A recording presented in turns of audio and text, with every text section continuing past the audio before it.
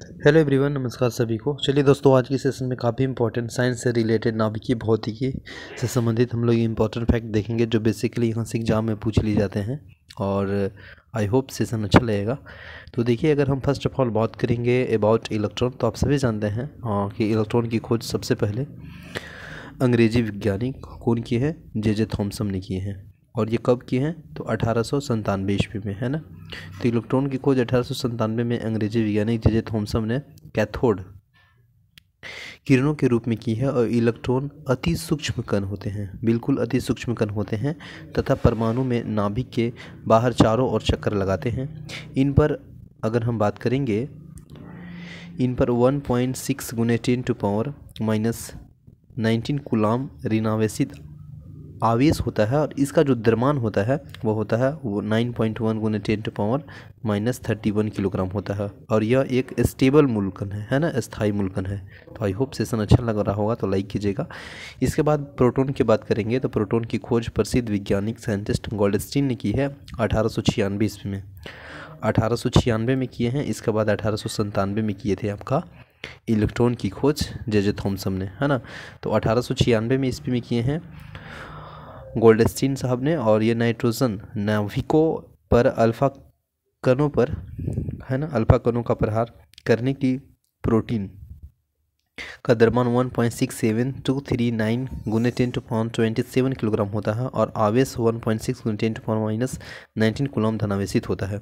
यह एक अति सूक्ष्म कण है और इसका जो उपयोग है, इसका जो यूज़ है, वो कृत्रिम तंत्रावंतरण, है ना, यानी आर्टिफिशियल ट्रांसमिलेशन में उपयोग किया जाता है प्रोटोन का। तो कभी कभी प्रश्न पूछ लिए जाते हैं कि आर्टिफिशियल ट्रांसम्यूटेशन में किस चीज़ का प्रयोग करते हैं? इलेक्ट्रॉन प्रोटोन न्यूट्रॉन तो इसका बिल्कुल राइट आंसर क्या हो जाएगा? प्रोटोन है ना? और इसका खोज कोल्डेस्टनी किया है? अठारह सौ छियानवे में। और इलेक्ट्रॉन के?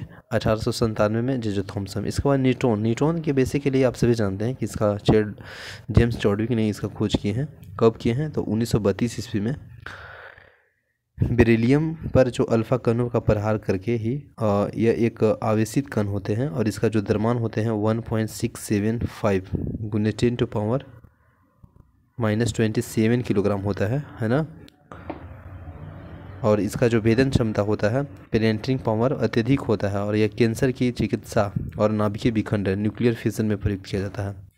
पोजिस्ट्रोन यह एक धनावेशित मूलकन है है ना? जिसका दरमान व आवेश परिणाम में इलेक्ट्रॉन के बराबर होता है, इसलिए इसे इलेक्ट्रॉन का प्रतिकरण यानी एंटी पार्टिकल भी कहते हैं। और इसका खोज कब किए हैं? तो 1932 में एडरसन साहब ने किए हैं। 1932 में कब किए हैं? एडरसन साहब ने, ठीक है ना? इसका बाद न्यूट्रॉन। न्यूट्रॉन ये लगभग दरमान रहित व आवेश रहित मूलकन है और इसका जो खोज है 1930 ईस्वी में हुआ है है ना? 1930 ईस्वी में पावली ने की है और न्यूट्रॉनों की प्रतिकन होता है जिसमें जिसे एंटी न्यूट्रो कहते हैं फोटोन देखिए फोटोन ऊर्जा का एक विखंडन, है ना? कह सकते हैं कि बंडल है। ठीक है ना? माफ़ कीजिएगा बंडल है, यानी पॉकेट है फोटोन ऊर्जा का। तो ऊर्जा का यह बंडल है, होता है और प्रकाश की चाल से चलता है। सभी प्रकार के विद्युत चुंबकीय किरणों का निर्माण इन्हीं मूल कणों से होता है और इनका जो विराम दरमान है, वह रेस्टेड मास शून्य होता है। तो फोटोन बेसिकली क्या है? तो फोटोन जो है ना, ऊर्जा का बंडल है, ऊर्जा का हम पैकेट भी कर सकते हैं, ठीक है ना? इसके बाद कार्बन कॉल निर्माण, जो कि इस विधि द्वारा जो जीवों के जो अवशेष को आयु का पता लगाया जाता है। तो ये प्रश्न पूछा जाता है कि कार्बन फोर्टी है या कार्बन काल निर्माण इसका उपयोग किया जाता है जीवन के जो आयु है उसको पता लगाने में। जीवित अवस्था के प्रत्येक जीव, जैसे पौधा हो गया, जंतु हो गया, कार्बन चौदह के एक रेडियो एक्टिविटी समस्थानिक तत्व के ग्रहण करता है और मृत्यु के बाद इसका ग्रहण कर, करना बंद हो जाता है है ना? अतः किसी भी मृत जीव में जो कार्बन चौदह की सक्रियता को माप करने के करके उसकी जो मृत्यु का वर्तमान तक की समय की गणना की जाती है। ठीक है ना? इसके बाद नेक्स्ट अगर हम बात करेंगे तो आपका है यूरेनियम काल निर्धारण। चट्टान आदि प्राचीन निर्जीव पदार्थों की आयु को उनमें उपस्थित रेडियो एक्टिव खनिजों जैसे यूरेनियम द्वारा ज्ञात किया जाता है। यूरेनियम काल निर्धारित की इस विधि द्वारा चंद्रमा से लाई गई चट्टानों की आयु 4.6 पॉइंट सिक्स गुने टेन टू नाइन कोस्ट में कह सकते हैं कि 4.6 अरब वर्ष पाई जाती है, जो कि लगभग उतना ही है जितना पृथ्वी है है ना? नाभिकीय रिएक्टर यह एक नाभिकीय रिएक्टर के बारे में देखेंगे तो यह एक ऐसी युक्ति है जिसका जो यूरेनियम है 235 का नियंत्रण विखंडन कराया जाता है, और प्रथम नाभिकीय विखंडन जो वैज्ञानिक है, एनरिको फर्मी ने निर्देश में अमेरिका के शिकागो, है ना? शिकागो जो विश्वविद्यालय है, उन्नीस ईस्वी में कब? तो याद रखेंगे हम लोग, उन्नीस ईस्वी में बनाया गया था। नाभिकीय रिएक्टर में विखंडन की श्रृंखला अभिक्रिया को नियंत्रण करके करने के लिए केडमियम या बोरोन की लंबी छड़ों का उपयोग किया जाता है। ठीक है ना? इसके बाद न्यूक्लियर फ्यूज़न यानी नाभिकीय विखंडन और जब यूरेनियम 235 पर मंद गति के न्यूट्रॉनों की बमबारी की जाती है तो इसका जो भारी नाभिक विभक्त हो जाता है और साथ ही बहुत अधिक ऊर्जा उत्सर्जित होता है। इस अभिक्रिया को नाभिकीय विखंडन कहते हैं। परमाणु बम अनियंत्रित नाभिकीय विखंडन अभिक्रिया पर आधारित है तो यह प्रश्न पूछा जाता है। कि जो परमाणु बम है, किस पर आधारित है तो ये नाभिकीय विखंडन अभिक्रिया पर अप्लाइड होता है। प्रश्न पूछा गया है।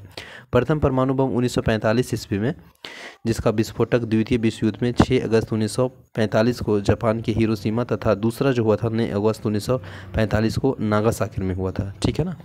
इसका बाद है नाभिकीय संलयन, यानी न्यूक्लियर फ्यूज़न जब दो या दो से अधिक, दो या दो से अधिक हल्के नाभिकीय संयुक्त होकर एक भारी नाभिक बनाते हैं तथा अत्यधिक ऊर्जा विमुख करते हैं तो इस अभिक्रिया को नाभिकीय संलयन कहते हैं, है ना? सूर्य से प्राप्त प्रकाश और उष्मा ऊर्जा का मुख्य स्रोत नाभिकीय संलयन है और हाइड्रोजन बम नाभिकीय संलयन अभिक्रिया पर ही आधारित है।